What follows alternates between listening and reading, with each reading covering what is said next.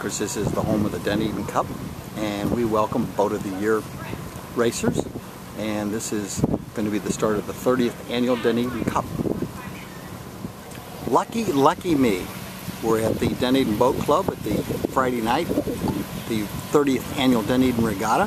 This is the setup before everything goes stupidly crazy. There's the tent. There's Bernie who's just set up all the electrical stuff. The uh, beer truck, as you see in the distance there, they're testing the beer to make sure that it's, well, to make sure that it's ready for everybody. Uh, looks like the marina is well set. Nobody's here yet. There's the world famous Dunedin Boat Club. Let's go take a look at it. The club, founded in 1929, is uh, outfitted with flags. It's all ready to go. And uh, all we're doing is waiting for sailors to show up. Paul Allman back of the uh, welcoming registration table. Sailors registry. They just kind of filter in. The clubhouse inside. Over here we have Margot. She's all set up, waving at the crowds. She has her ship store with the uh, Dunedin Cup t-shirts, which all the sailors get. Uh, we're having beer and wine tomorrow. One ticket, which is three bucks. What a deal, what a deal. And this is kind of what the inside looks like before everything goes really crazy. Here's the front of the club. You can see some of the other organizations that uh, use our club house. Club house, get it? Never mind. Uh, and the front of the club, we're all decked out. And of course, it's for the Dunedin Sailing Association that the regatta's funds go to. And we're all ready for the crowds. And the evening wears on. Uh, more people are beginning to arrive. The uh, beer truck beginning to get its usual crowd. So uh, the event is getting ready to get getting ready to get ready.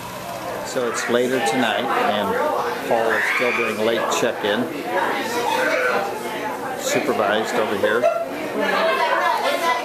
The boat club is sort of clearing out. We had a big storm come through, but the skippers have all done their stuff. And there's the usual hangers on that are still here. There's more out in 10. I'll show you them in a minute. But the skipper's meeting is just about, there's always a few ne'er-do-wells sitting on the porch. Lots and lots of, lots of energy. So they're still talking here. Uh, well, Some next the year, people going maybe. to Davis Island. Next year, yeah. Like, we're going to have a great high school team. It's about time here. that Dunedin has a decent high school racing team. going to be all That kinds of was my goal. on. It's like, we live in Dunedin here, and you don't even have a race. Day two of the Dunedin Regatta, and notice people are getting ready for racing. Looks like little ducks. Mother ducks bringing their little ducks out. So they're bringing the, uh, these are called prams, these are little eight foot boats. And this is what the kids race on, and they're bringing them out. It's kind of cool. Kids are out here, they've got the sails out. They're getting ready to go sailing. poppies that are going to be raced? Mr. Allman is out here, Yes, not paying to attention to us. But very cool. Another day begins in the 30th annual Oh, Dunedin Regatta. Here are more of the activities going on. Just playing through there with jet skis, but the little sailboats out there, they're playing around during the morning. See our jet skis going over here. As we go over here, there's another group of kids. They're getting ready to get set up. The boats out there the watch boat, and they're set up on the beach over here and they're going to start sailing here probably in another 15-20 minutes. Wind's blowing nicely. Going to be a very nice day. Yeah, we had a little liquid uh, sunshine and the stuff they call lightning. So the uh, sailboats, there's some day sailors, they're coming in a little early. And so we'll start the festivities uh, soon.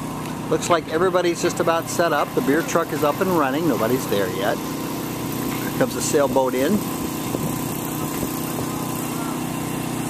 The tent's all ready. We've tested the beer.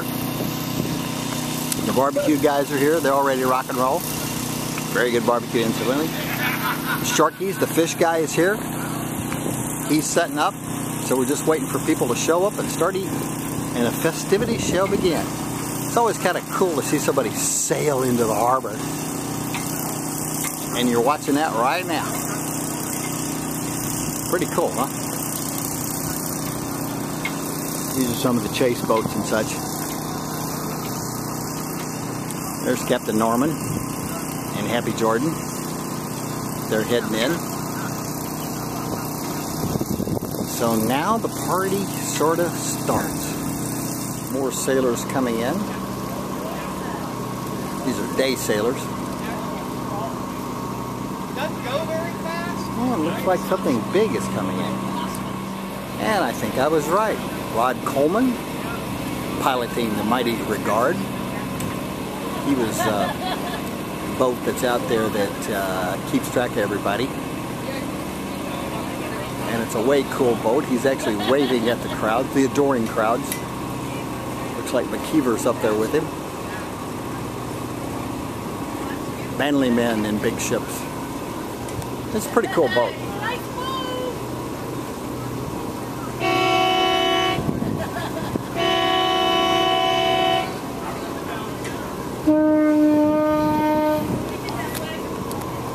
This is Sunday morning. All the kids are here. Do regatta, which is sailing. Throw your types. Some of the usual ne'er-do-wells are already here. Beautiful day on St. Joseph Sound. Let's go take a look. Any regatta is the boats that, uh, the safety boats. And for the kids, we have lots of them, and the safety boat people are starting to get loaded up.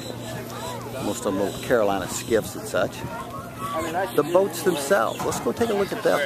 There's a whole plethora of boats going to be sailing today. These are prams. Actually, prams were invented here in Dunedin. A guy named Clarky Mills built these little eight-foot boats out of two pieces of plywood back in the 40s because uh, you see uh, soapbox derby racers uh, couldn't race in Florida. We don't have any hills. So to give kids a project, he made a boat. And this is what you see. It's called the Optimist Pram and sometimes just a pram.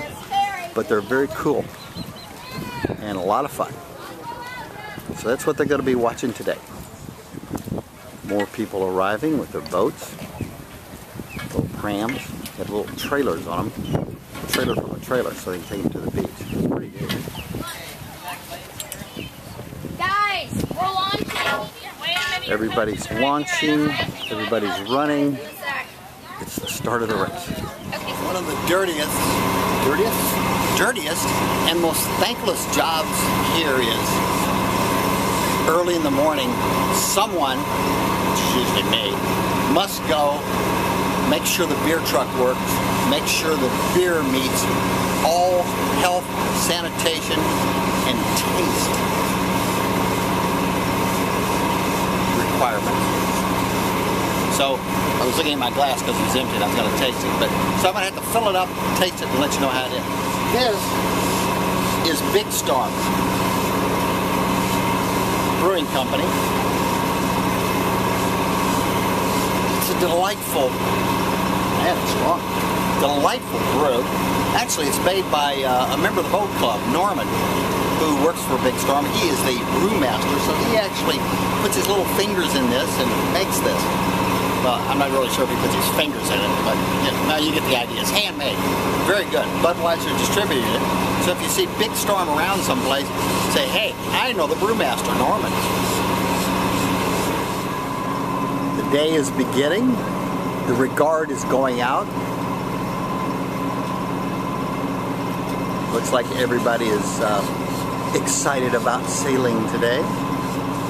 This is the committee boat, and uh, I think you have to, uh, when you're drinking something on this boat, you have to have your pinky hanging out.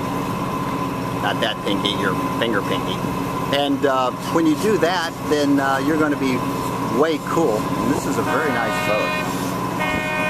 Rod Coleman's boat. Very cool. And if you're on this boat, you're watching out for the other kids and you are the sail masters.